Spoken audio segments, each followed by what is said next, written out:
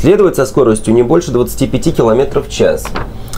Потому как там производились работы по смене уравнительного прибора.